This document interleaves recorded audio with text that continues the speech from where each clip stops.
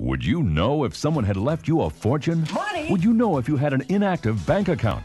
Perhaps you have an overdue tax refund coming to Really? you.